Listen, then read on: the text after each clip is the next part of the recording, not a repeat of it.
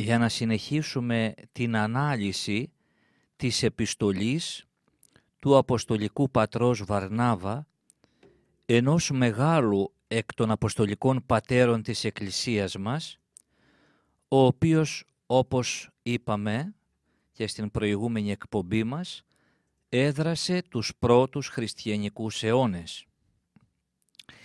Είμαστε συντονισμένοι στην εκπομπή του πανεπιστημιακού διαδικτυακού σταθμού μας «Χριστιανισμός, Θεωρία και Πράξη» στο μικρόφωνο ο πρωτοπρεσβύτερος πατήρ Ανδρέας Καπές και στον ήχο ο Ιάσον Φορλίδας.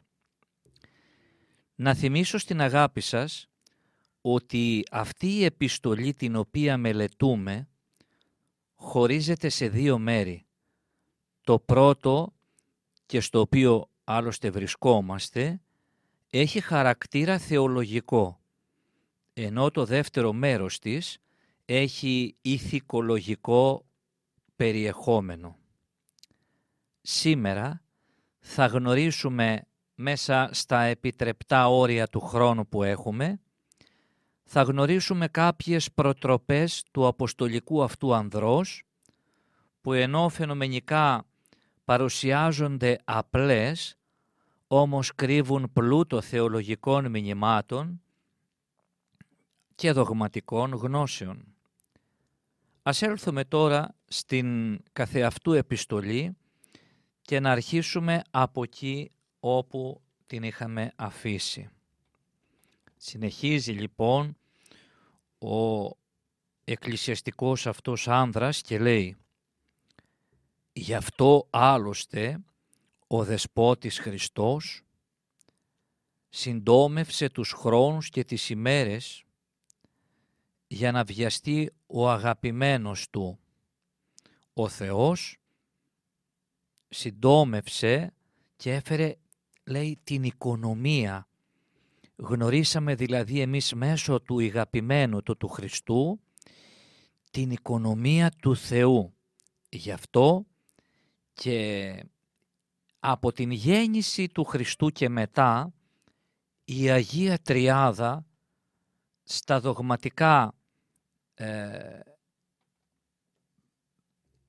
πλαίσια θα μπορούσε να ονομαστεί ως οικονομική Αγία Τριάδα. Δηλαδή φανερώνεται πλέον η αγάπη του Θεού και Πατρός μέσω αυτής της άκρας συγκαταβάσεως και της οικονομίας την οποία έκαμε από αγάπη για τη σωτηρία του ανθρωπίνου γένους. Να στείλει τον ηγαπημένο του, τον Υιόν του.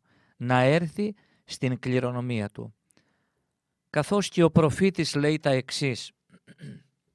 Δέκα βασιλείς θα βασιλέψουν στη γη και θα γεννηθεί μετά από αυτούς ένας μικρός βασιλιάς, ο οποίος θα ταπεινώσει τρεις από τους βασιλείς κάτω από ένα βασίλειο. Αναφέρει συγκεκριμένα ο προφήτης Δανιήλ στο 7 κεφάλαιο, σε αυτά τα οποία είπαμε, στον 24ο στίχο.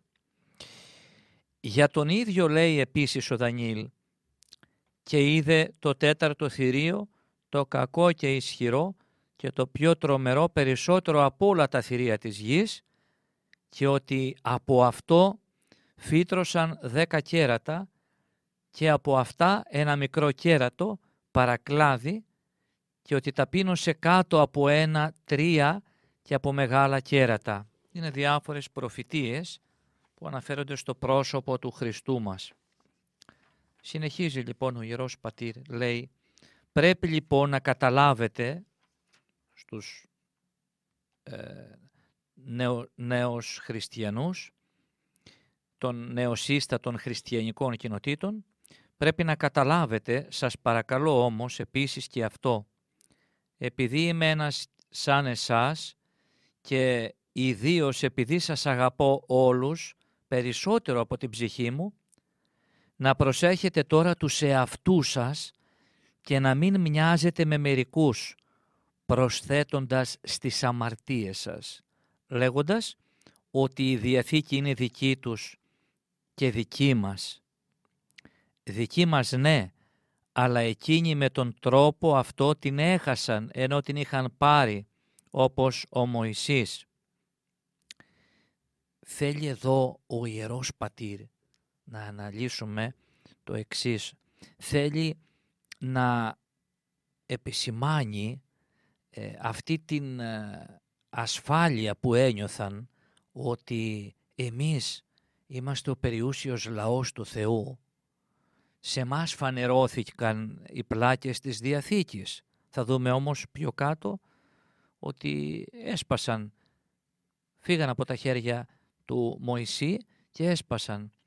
Και όπως ξέρουμε η Παλαιά Διαθήκη είναι ένα ερμηνευτικό βιβλίο και θα πρέπει να το ερμηνεύουμε και σύμφωνα με την Καινή Διαθήκη, να το παραλληλήσουμε με τη σημερινή κατάσταση ότι ο Χριστός στους ε, Ιουδαίους αποκαλύφθηκε και στη συνέχεια και στον ελληνικό κόσμο που όμως βλέπουμε σήμερα ε, όλα τα θεωρούμε και κτημένα, όλα τα θεωρούμε ότι εμείς είμαστε οι ευλογημένοι του Πατρός, ο περιούσιος λαός και εμείς ως Έλληνες και γι' αυτό ο Θεός επιτρέπει, όπως ξαναείπαμε, διάφορες δοκιμασίες διότι δεν κρατάμε αυτή την παρακαταθήκη όπως εδώ μας διδάσκει ο Ιερός Πατήρ.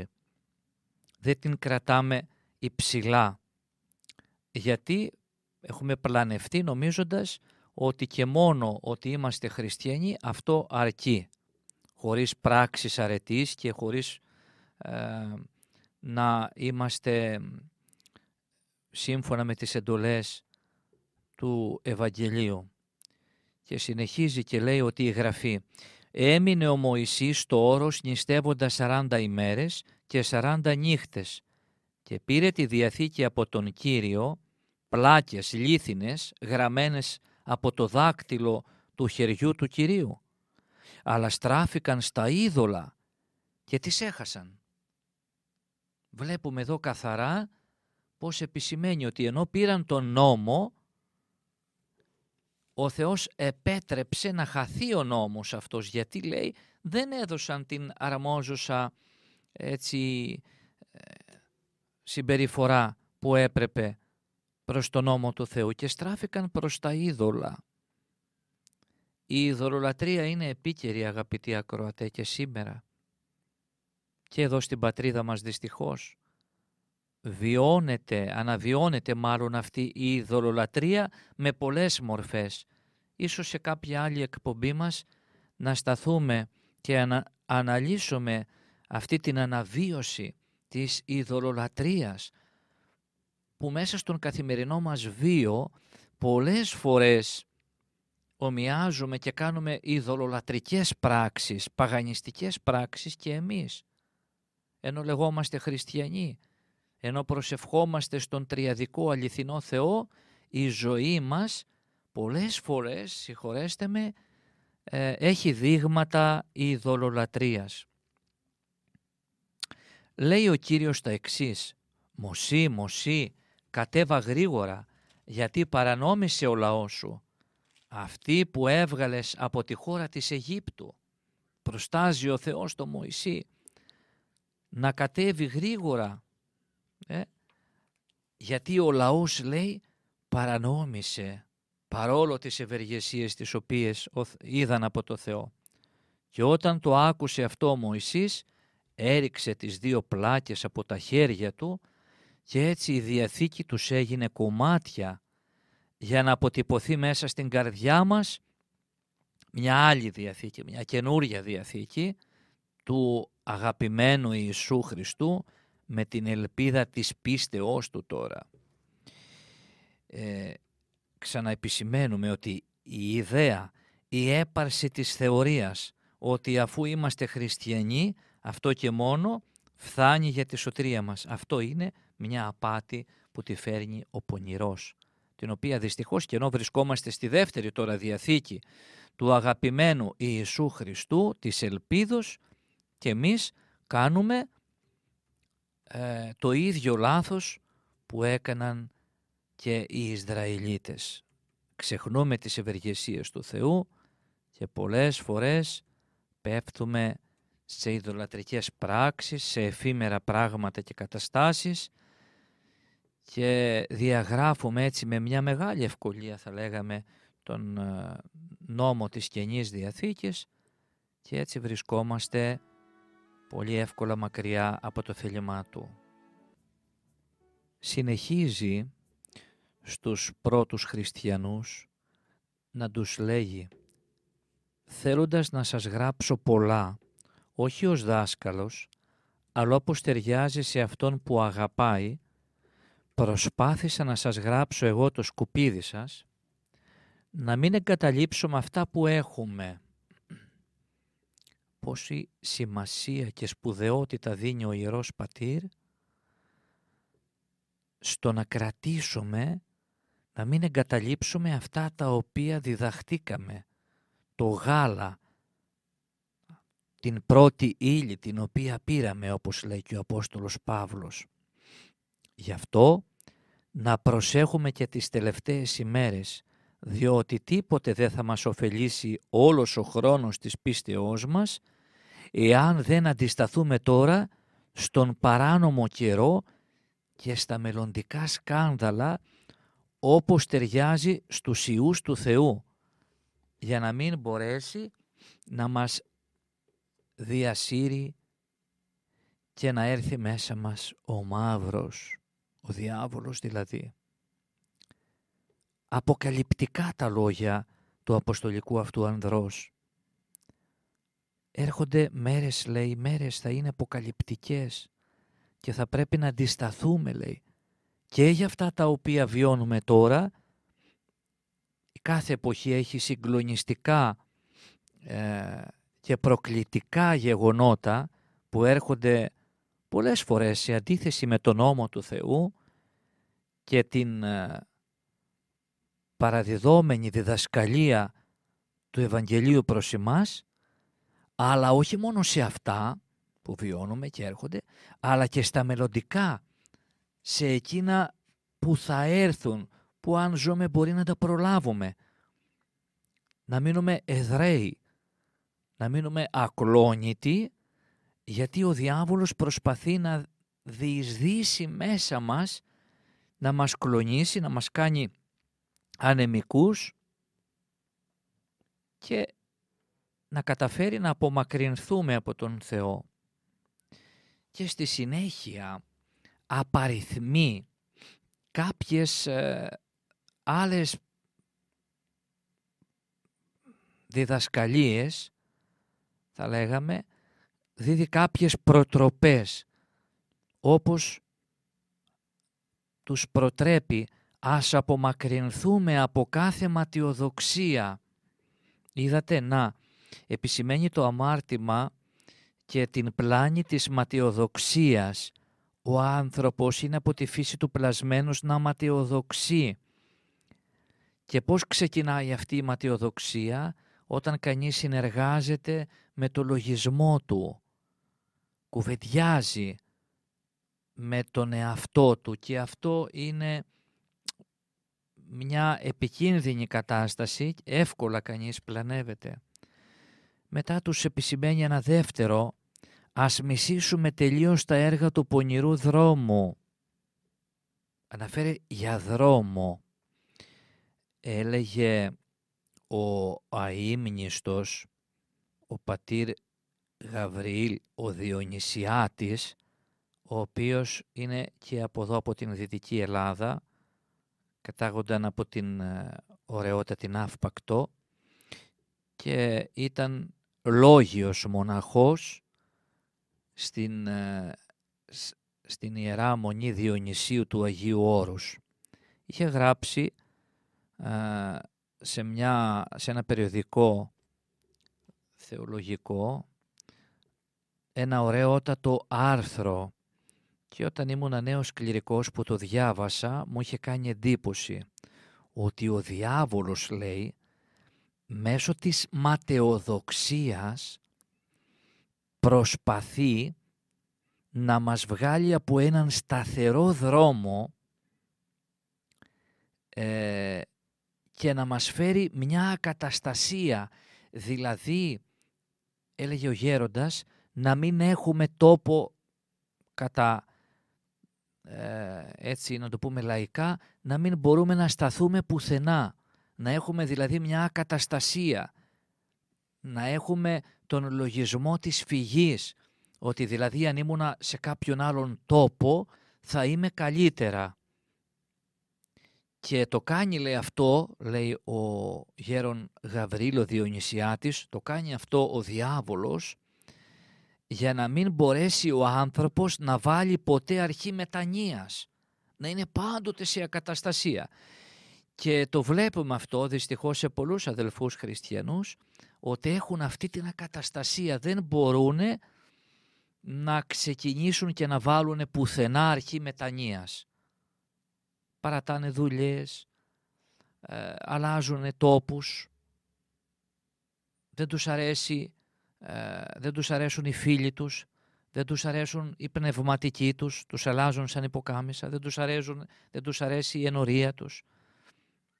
Ακόμη, ακόμη, ναι, γι' αυτό βιώνουμε και αυτό το τραγικό. Δεν τους αρέσουν οι σύζυγοί τους και πολύ εύκολα παίρνουν διαζύγια. Υπάρχει δηλαδή αυτή την εισβολή του πονηρού μέσα στο, στην ανθρώπινη ψυχή την καυτηριάζουν πολλοί πατέρες, αυτό μας λέει και ο Βαρνάβα σήμερα. Επίσης τώρα έρχεται σε μια τρίτη υπόδειξη που λέγει «Μην κλείνεστε στους εαυτούς σας». Βλέπετε, η μία υπόδειξη, η μία πατρική νουθεσία έρχεται ως συμπλήρωμα της άλλης για να κλειδώσει την προηγούμενη. Έτσι. Μας είπε ας απομακρυνθούμε από την ματιοδοξία, ας μισήσουμε τα έργα του πονηρού και έρχεται να μας πει ότι αυτά όλα είναι αποτέλεσμα διότι κλεινόμαστε στους εαυτούς μας και μην απομονώνεστε σαν να είστε ήδη δικαιωμένοι. Αλλά επισημαίνει τώρα μια, κάνει μια τρίτη υπόδειξη και μας παροτρύνει στο να συναθρίζεστε όλοι μαζί και να συζητάτε για το κοινό συμφέρον. Να συναθρίζεστε. Πού να συναθρίζεστε; Επί το αυτό. Ποιο είναι το σπουδαίο της συναθρήσεως των χριστιανών; Το μυστήριο των μυστηρίων. Η σύναξη, συνάθρηση επί το αυτό για την Θεία Ευχαριστία. Διότι λέει η Γραφή, συνεχίζει, σε εκείνους που πιστεύουν ότι είναι σοφοί και αυτοπαρουσιάζονται ως επιστήμονες. Ας γίνουμε πνευματικοί, ας γίνουμε τέλειος ναός για τον Θεό. Να, τέλειος ναός θα γίνει κανείς όταν βρίσκεται στο μυστήριο των μυστηρίων. Θα γίνει και αυτός ναός που είναι ναός, αλλά προσερχόμενος στη Θεία Ευχαριστία μέσα στο ναό, εκεί αγιάζει αυτό το σώμα, το οποίο είναι ναός του Αγίου Πνεύματος γιατί κατοικεί η ψυχή και απολαμβάνει την, τον αγιασμό, μια αποκορύφωση έτσι, του αγιασμού του, την οποία την δέχεται και την εκλαμβάνει μέσα από το μυστήριο αυτό της θείας Ευχαριστίας, διότι βρίσκεται κοντά με τον Θεό. Θα πούμε στο τέλος, αν έχουμε χρόνο, ε, τις ωφέλειες από αυτή τη συνάθρηση. Όσο εξαρτάται, συνεχίζει ο Ιερός Πατήρ από εμάς, ας μελετούμε τον φόβο του Θεού και ας αγωνιζόμαστε να εφαρμόζουμε τις εντολές Του. Ξαναεπιμένει εδώ για εφαρμογή των εντολών. Για να εφρενόμαστε με τις εντολές της δικαιοσύνης Του. Επαναλαμβάνει γιατί, γιατί θέλει να μας επισημάνει ότι αν εφαρμόζουμε τις εντολές του Θεού δεν είναι ότι θα δείξουμε κάποια δουλοπρέπεια ή ε, θα είμαστε να πούμε έτσι χριστιανοί με σκημένο το κεφάλι. Όχι. Αλλά λέει ότι θα απολαμβάνετε μέσω των εντολών του Χριστού μας τη δικαιοσύνη Του. Είδατε να πούμε κάτι, ένα απλό παράδειγμα στην καθημερινότητα. Σε μια εργασία όταν βρίσκεται κάποιος, θέλει από τον προϊστάμενό του να αποδίδει δικαιοσύνη. Δεν τον θέλει ούτε μαλθακό, αλλά ούτε και σκληρό. Θέλει να αποδίδει δικαιοσύνη. Έτσι δικαιώνεται ε, ο εργάτης, ο υπάλληλος. Και χαίρεται και αισθάνεται ασφαλής όταν είναι σε έναν προϊστάμενο ο οποίος αποδίδει δικαιοσύνη. Ούτε η ατιμορρησία είναι καλή, αλλά ούτε και η βαρβαρότητα και η σκληρότητα είναι καλή. Όταν κάποιος αποδίδει δικαιοσύνη, τότε ο υφιστάμενος νιώθει ασφάλεια.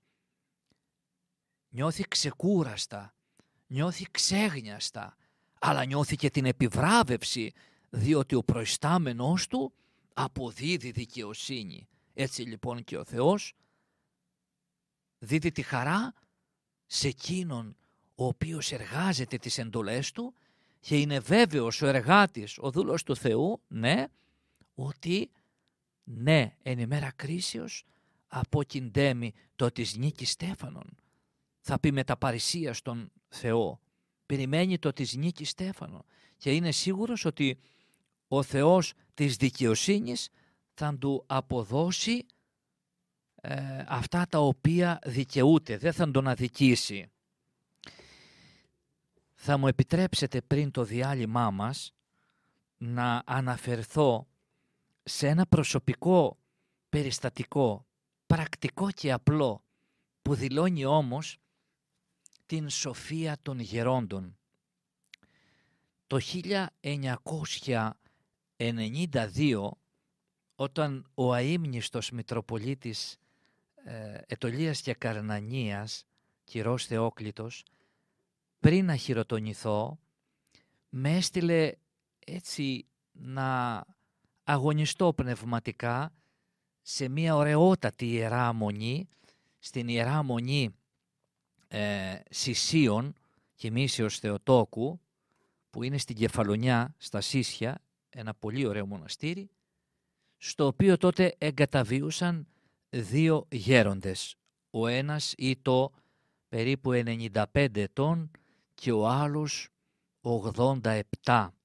Ο πατήρ Πανάρετος, όσοι μπορεί από τους αγαπητούς ακροατές μας ακούτε να τον έχετε γνωρίσει, και ο άλλος ο πατήρ Νίκανδρος. Μάλιστα ο πατήρ Νίκανδρος εκτελούσε και το, να το πούμε, διακόνημα της απλησιάς 25 χρόνια ο οποίος μυρόβλιζε, μυρόβλιζε, του είχε δώσει ο Θεός εν ζωή αυτή τη χάρη. Παιδάκι λοιπόν, τότε υποψήφιος κληρικός, σε αυτούς τους γέροντες κάθισα περίπου δύο μήνες. Τα βράδια κατεβαίναμε στο λεγόμενο φουρναριό, εκεί στο τζάκι που ξεκουράζονταν οι δύο γέροντες και εκεί διαβάζαμε το ανάγνωσμα το οποίο δεν διαβάζαμε δυνατά, αλλά ο κάθε ένας το κομμάτι το οποίο έβαζε ο γέροντας ως κανόνα, μυστικά και έπειτα λέγαμε τις απόψεις μας. Ήρθαν οι δύο γέροντες σε μία διαφωνία.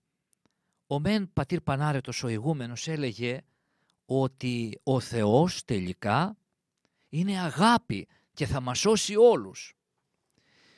Και ο πατήρ Νίκανδρος, πιο σκληρός στα πνευματικά, έλεγε, παρουσίαζε τον Θεό ως έναν τιμωρό Θεό, ο οποίος θα μας ε, κρίνει αλίπητα και θα πρέπει να είμαστε πολύ έτσι προσεκτικοί. Πήρα πολλά από τους δύο γέροντες, έφυγα από τη Μονή χειροτονήθηκα με τη χάρη του Θεού. Πέρασαν αρκετά χρόνια και μέσα μου μου είχε μείνει αυτή η απορία από αυτό το περιβόητο ανάγνωσμα. Δεν μπορούσα μέσα μου ε, να καταλήξω ποιος από τους δύο γέροντες είχε δίκιο. Όταν με το καλό με αξίωσε ο Θεός να βρεθώ στην θεολογική σχολή και να διαβάσω συστηματικά για τις ιδιότητες του Θεού. Εκεί λοιπόν διάβασα πρώτα την μεγάλη ιδιότητα του Θεού, ότι ο Θεός είναι αγάπη. Όχι είναι αγάπη, αλλά είναι το είναι του, είναι η όντως αγάπη ο Θεός. Και λέγω, α, είχε δίκιο ο πατήρ Πανάρετος ότι ο Θεός είναι αγάπη. Όμως πιο κάτω βρέθηκα και σε μια άλλη ιδιότητα του Θεού, η οποία λέγεται η δικαιοσύνη του Θεού. Ότι ο Θεός είναι και δικαιοσύνη και πρέπει να αποδώσει δικαιοσύνη. Μπορεί να δέχεται και τον πρώτο και τον έσχατο, αλλά όμως θα έχει κάποια διαφορά αυτός ο πρώτος και ο έσχατος. Γιατί πρέπει να αποδώσει δικαιοσύνη και σε εκείνον ο οποίος πόνεσε σε αυτή τη ζωή, δοκιμάστηκε. Σήκωσε το σταυρό, τον όποιο σταυρό του χάρισε ο Κύριος, χωρίς γογισμό. Και έτσι κατέληξα ότι και οι δύο οι πατέρες είχαν δίκιο, ότι ο Θεός είναι και αγάπη, αλλά δεν πρέπει να ξεχνούμε ότι είναι και δικαιοσύνη. Να, αυτό μας ε, επισημαίνει σήμερα και ο αποστολικός αυτός πατήρ, ο Βαρνάβας, ότι ο Θεός είναι δικαιοσύνη. Ο Κύριος, συνεχίζει να μας ομιλεί ο Ιερός Πατήρ, θα κρίνει τον κόσμο απροκατάληπτα. Είπαμε ότι ε, η κάθε τοποθέτησή του ξεκλειδώνει τα προλεγόμενά του. Γι' αυτό είπαμε νωρίτερα για τη δικαιοσύνη του Θεού. Και μας λέγει ότι ο Κύριος θα κρίνει τον κόσμο απροκατάληπτα. Ούτε πλούσιος, ούτε πτωχούς, αμαρτωλούς, δικαίους, απροκατάληπτα. Γι' αυτό θα πρέπει να πετάμε από χαρά, να νιώθουμε ξέγνιαστα, όπως ένα μικρό παιδάκι νιώθει ξέγνιαστα στα χέρια του πατέρα του. Ο καθένας θα αμυφθεί ανάλογα με αυτά τα οποία έκανε. Εάν είναι αγαθός, η δικαιοσύνη του θα προπορεύεται μπροστά από αυτόν. Εάν είναι κακός, ο μισθός της κακίας του θα βρίσκεται μπροστά του. Είδατε, αυτή είναι η δικαιοσύνη του Θεού. Όταν ένας άνθρωπος από την ώρα που εγνώρισε τον εαυτό του εργάζονταν μόνο την κακία, μόνο το κακό είχε να πει για τον συνάνθρωπό του, για τον αδελφό του, γιατί είπαμε και σε άλλες εκπομπές ότι θα μας κρίνει ο Θεός με κριτήριο τον συνάνθρωπο αγαπητοί. Θα μας κρίνει με, με κριτήριο τον συνάνθρωπο. Μπροστά και από τις προσευχές μας, μπροστά και από ε, ό,τι άλλο έχουμε κάνει για τον εαυτό μας, θα βάλει κριτήριο τον συνάνθρωπο. Είναι πολύ σπουδαίο αυτό. Έτσι, ο συνάνθρωπος είπαμε και ξανααναφέρομαι, ας ανατρέξουμε στο Ευαγγέλιο της κρίσεως και θα δούμε αν αυτά τα οποία σας ε, επισημαίνω είναι λανθασμένα. Εκεί θα δείτε ότι η κρίσης και η προσωπική μας κρίση θα είναι ο συνάνθρωπος.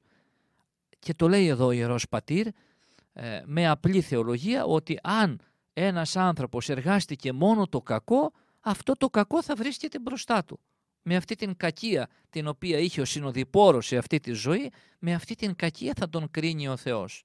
Ένας ο οποίος είχε την αγάπη, την καλοσύνη ε, και τις πράξεις, τις αγαπητικές έναντι των αδελφών του, αυτός ο άνθρωπος σίγουρα θα δικαιωθεί.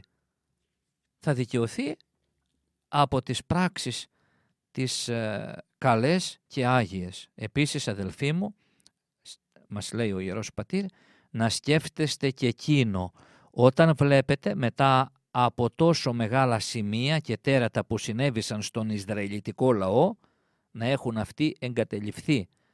Ας προσέχουμε μήπως όπως έχει γραφεί βρεθούμε πολύ κλητοί αλλά λίγοι εκλεκτοί. Δηλαδή μας επισημαίνει ε, και μέσω του καταματθέων Αγίου Ευαγγελίου, συγκεκριμένα στο κεφάλαιο 22 στο στίχο 14, να σκεφτούμε αυτό που λέει το Ευαγγέλιο, ότι ενώ πολλοί κληθήκαμε, πολλοί είμεθα χριστιανοί, πολλοί μπήκαμε στην κολυμβήθρα, αλλά στο τέλος επάνω τον προορισμό μας, στην ουράνιο βασιλεία βρεθούμε μόνο λίγοι οι οποίοι ασφαλώς και θα ονομαστούμε εκλεκτοί. Και να πάρουμε λέει παράδειγμα αυτό το οποίο συνέβη με τον Ισραηλιτικό λαό, αυτό που έπαθε ο Ισραηλιτικός λαός. Γι' αυτό άλλωστε ανέχθηκε ο Κύριος να παραδώσει το σώμα του στο θάνατο για να αγνιστούμε με την άφεση των αμαρτιών, δηλαδή με το ράντισμα του αίματός του. Από μόνοι μας δεν σωζόμαστε, από την άπειρη αγάπη του Θεού σωζόμαστε. Λίγο αν προσπαθήσουμε εμείς, πολύ θα αμυφθούμε. Και αυτό, λέει ο Ιερός Πατήρ, το χρωστάμε στο τίμιο και πανάγιο αίμα του Κυρίου μας, το οποίο χύθηκε για όλη την ανθρωπότητα και για τον καθένα ξεχωριστά. Διότι γράφθηκαν για Αυτόν, αλλά προς τον Ισραηλιτικό λαό και άλλα για εμάς. Λέει δηλαδή τα εξής. Τραυματίστηκε ο Θεός για τις αμαρτίες μας και υπέστη κακώσεις για τις αμαρτίες μας. Και με το πάθος εκείνο εμείς θεραπευθήκαμε. Τι φοβερή θεολογία μας παρουσιάζει εδώ ο αποστολικός αυτός πατέρας. Θεραπευθήκαμε, φάρμακο το σώμα και το αίμα του Χριστού. Οδηγήθηκε λέει ο Χριστός μας σαν πρόβατος στη σφαγή και σαν αρνή άφωνο απέναντι σε αυτόν που το ε, θυσιάζει. Οφείλουμε λοιπόν να ευχαριστούμε τον Κύριο με το παραπάνω, διότι μας έκανε γνωστά και αυτά που πέρασαν και με τα τωρινά μας έκανε σοφούς και για τα μελλοντικά δεν είμαστε χωρίς γνώση. Αντιλαμβανόμαστε τι πρόκειται να έρθει. Και η Γραφή λέει δεν απλώνονται άδικα τα δίχτυα για τα πτηνά. Αυτό σημαίνει ότι δίκαια χάνεται ο άνθρωπος ο οποίος ενώ γνωρίζει τον δρόμο της δικαιοσύνης οδηγεί τον δρόμο, τον εαυτό τους στον δρόμο του σκότους.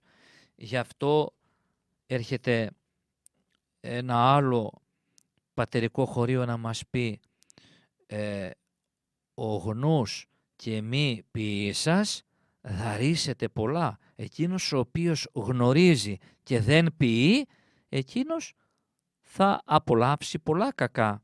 Εκείνος τελικά θα είναι ε, υπόδικος και θα δεχτεί την τιμωρία του Θεού. Ε, διότι χάνεται λέει ο άνθρωπος εκείνος ο οποίος γνωρίζει. Ενώ γνωρίζεις αδελφέ τον δρόμο, τον σωστό της δικαιοσύνης και δεν λέει εδώ τον δρόμο του Θεού, προσέξτε, θέλει να είναι πιο κοντινός προς εμάς, λέει τον δρόμο της δικαιοσύνης. Επιμένει να χαρακτηρίζει τον δρόμο του Θεού με τη λέξη δικαιοσύνη, με την αρετή αυτή, για να δίδει προς εμάς ε, μια αίσθηση ασφαλείας, η δικαιοσύνη. Τι λέει εκεί τη Μεγάλη Εβδομάδα όταν αρχίζουν οι ακολουθίες; Του νυμφίου. Δικαιοσύνη μάθατε οι ενικούντες επί της γης. Όταν δεσπόσει, όταν ε, είναι διάχυτη αυτή η δικαιοσύνη του Θεού στην ανθρωπότητα, τότε όλα βαίνουν προς τον δρόμο του φωτός και απορρίπτεται το σκοτάδι και η αμαρτία. Δυστυχώς όμως αγαπητοί ακροατέ, ο χρόνος κυλάει πάρα πολύ εύκολα, ήδη δεν έχουμε χρόνο και ενώ είχα σκοπό να αναφέρω και άλλα τα οποία μας προσδιορίζουν ως προς την τοποθέτηση του Ιερού Πατρός για την συνάθρηση, όμως εδώ θα πάυσω να συνεχίσω αυτή την ανάλυση της επιστολής για να πάρουμε κάποια σπουδαία διδάγματα και μηνύματα του Αγίου αυτού Ανδρός τα οποία είναι επίκαιρα και το κάνουμε αυτό για να δούμε πόσο επίκαιρο, επίκαιρη είναι αυτή η επιστολή του Ιερού Πατρός του Βαρνάβα, πόσο επίκαιρη είναι και σήμερα. Ένα πολύ σπουδαίο μήνυμα που μας το επαναλαμβάνει. Εμείς βέβαια το συναντήσαμε εδώ, αλλά θα το δούμε και στην άλλη εκπομπή μας άλλες δύο φορές. Ε, είναι αυτό δηλαδή η συμμετοχή μας στη Θεία Λατρεία, στο μυστήριο των μυστηρίων. Όπως βέβαια και οι άλλοι αποστολικοί πατέρες επεσήμαναν με προεξάρχοντα τον Άγιο Ιγνάτιο το Θεοφόρο, τον οποίο και αναλύσαμε. Εδώ ο Βαρνάβας μας αναφέρει χαρακτηριστικά ως προς το θέμα της συναθρήσεως το εξής. Μην κλίνεστε στους εαυτούς σας και απομονώνεστε, αλλά να συναθρίζεστε όλοι μαζί. Όπως και θα δούμε σε άλλες εκπομπές και άλλες υπενθυμίσεις για αυτή την συνάθρηση. Αντιλαμβανόμαστε ότι έχουμε πολλά ωφέλη από αυτή τη συνάθρηση. Γι' αυτό και οι Αποστολικοί Πατέρες, σύσσωμοι θα λέγαμε, ε, επιμένουν σε αυτή την συγκέντρωση, να το πούμε έτσι ε, λαϊκά, για τη Θεία Ευχαριστία. Έχουμε πολλά ωφέλη. Το πρώτο και σπουδαιότερο μέσα σε αυτή τη συνάθρηση στη λατρεία θυμόμαστε την Βασιλεία του Θεού. Γι' αυτό και μέσα στη Θεία Λειτουργία ακούμε πολλές φορές να υπενθυμίζεται αυτή η Βασιλεία του Θεού. Ο λειτουργός αυτή τη Θεία Ευχαριστία, το μυστήριο των μυστηρίων αυτό, το ξεκινά με την εκφώνηση ευλογημένη η Βασιλεία του Πατρός και του Ιού και του Αγίου Πνεύματος. Έτσι ξεκινάει η Θεία Λειτουργία. Και κατόπιν, λίγο πριν τον καθαγιασμό των τιμίων δώρων, εκεί στην ε, ε, φρικτή ώρα την οποία πρόκειται να ακολουθήσει, ακούμε τον λειτουργό να υπενθυμίζει με μια συγκλονιστική και αποκαλυπτική ευχή ως εξής με μνημένη και ημείς των σωτηρίων αυτού παθημάτων του Σταυρού, του Τάφου, της τριημέρου Αναστάσεως, της ενδόξου Δευτέρας αυτού πάλιν παρουσίας. Μας υπενθυμίζει δηλαδή λίγο πρώτου καθαγιασμού τα έσχατα, την Βασιλεία του Θεού.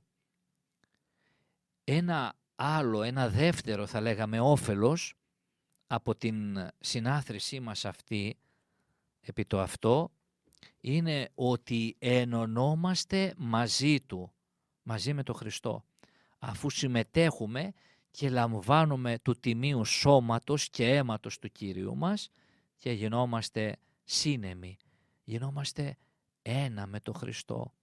Κυλάει λοιπόν στις φλέβες μας, μέσα στο αίμα μας, κυλάει το αίμα του Χριστού. Συγκλονιστικό αυτό αδερφοί, είναι συγκλονιστικό. Αυτό το αίμα του Χριστού είναι ο πυρήνας, είναι η ζωή της Εκκλησίας. Δυστυχώς χτυπιέται αυτή η αλήθεια, χτυπιέται η ζωή θα λέγαμε της Εκκλησίας, το σώμα και το αίμα του Χριστού, το οποίο, ε, με το οποίο ο άνθρωπος, ο χριστιανός ενώνεται και του δίδεται ζωή. Του δίδεται η νύψη της ψυχής του πολεμείται αυτή τη στιγμή και στην πατρίδα μας το αίμα και το σώμα του Κυρίου μας. Θα μπορούσαμε να πούμε πάρα πολλά. Θα ήθελα όμως να μείνουμε εδώ. Να μείνουμε ακλόνητοι. Μόνο θα αναφέρω πολύ σύντομα ένα συνεχόμενο ζωντανό θαύμα. Οι ιερείς και η λειτουργία του υψίστου είναι αυτό το συγκλονιστικό και συνεχόμενο θαύμα ως προς το θέμα του σώματος και αίματος του Χριστού μας. Έτσι. Δεν υπάρχει καν περίπτωση, δεν υπάρχει, ε, δεν πρέπει να μας διακατέχει ούτε να περνάει καν ο λογισμός από το μυαλό μας ότι μπορεί κανείς να βλαφτεί κοινωνώντας. Απέναντίας παίρνει δύναμη, παίρνει χάρη, παίρνει ζωή και αγιασμό από το σώμα και αίμα του Κυρίου μας. Ένα τρίτο στοιχείο που μπορούμε να πάρουμε από αυτή τη συνάθρηση είναι ο συμπνευματισμός μας, η συμπροσευχή μας μετά τον υπολείπων αδελφό μας μέσα στο μυστήριο της Θείας Ευχαριστίας. Έπειτα, οι καθαροί, αυτοί που έχουν μια πνευματική κατάσταση, έχουν ανέβει και προσέρχονται στο μυστήριο αυτό, οι οποίοι βρίσκονται, θα λέγαμε, στον Σαββατισμό.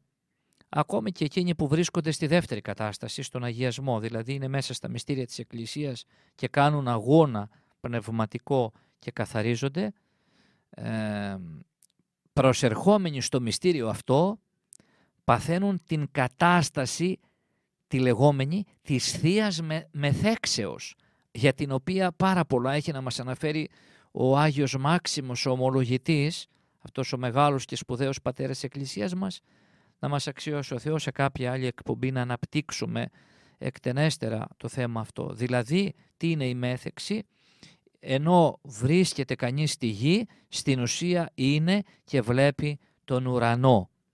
Εκστασιάζεται δηλαδή ο πιστός αυτός. Έρχεται σε μια κατάσταση εκστασιασμού. Βλέπει, ενώ πατάει στη γη, βλέπει τον ουρανό. Οι ουρανοί είναι ανοιχτοί. Οι άνθρωποι αυτοί βλέπουν τους Αγίους, τους Αγγέλους, όπου συλλειτουργούν μετά του ιερέως λειτουργού. Και κλείνει τους διαλογισμούς του ε, ο Ιερός Πατήρ με το ακόλουθο, το οποίο ας κρατήσουμε και ο σύνθημά μας μέχρι την επόμενη Τρίτη. Λέει λοιπόν, ας το κρατήσουμε αυτό αγαπητοί ακροατέ, το σύνθημα. Καταλαβαίνετε λοιπόν παιδιά της Εφροσύνης ότι ο καλός Κύριος μας τα φανέρωσε όλα για να γνωρίζουμε ποιον πρέπει να εγκομιάζουμε ευχαριστώντας Τον. Δηλαδή μας λέει εδώ μια άλλη, μας αποκαλύπτει μια άλλη θεολογική διάσταση ότι ο Κύριος ήρθε στη γη και μας αποκαλύφθηκε. Άρα θα είναι κουταμάρα να μοιάσουμε σαν τον Ισραηλιτικό λαό, να πετάμε και να κολοτσάμε θα λέγαμε αυτή την αποκάλυψη του Θεού. Είναι πολύ σπουδαία τα λεγόμενα του εκκλησιαστικού αυτού ανδρός. Ας τα μελετήσουμε και αυτή η εκπομπή ας ε, γίνει ένας προβληματισμός για να μελετήσουμε περισσότερο, να εμβαθύνουμε και να έρθουμε πιο κοντά με τους Αγίους, με τον Χριστό μας, την αποκεκαλυμμένη αλήθεια, η οποία ήθε να σκηνώσει αυτή η αλήθεια του Χριστού μέσα μας.